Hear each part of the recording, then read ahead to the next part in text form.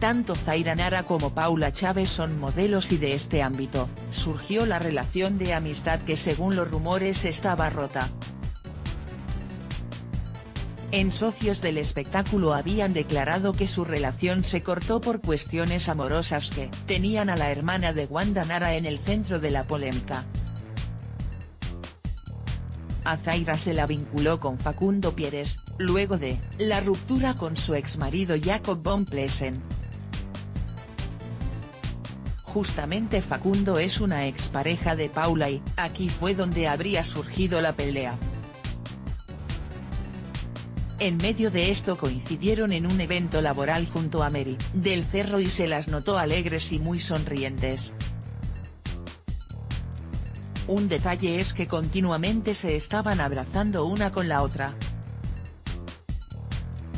En una nota hecha a Zaira por socios, ella afirmó, cuando uno, elige un amigo, elige sumar a alguien a su familia, comenzó.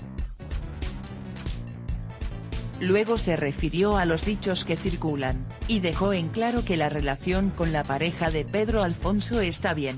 Se pueden decir un montón de cosas, pero cuando los lazos son fuertes no se rompen y eso es lo importante, declaró.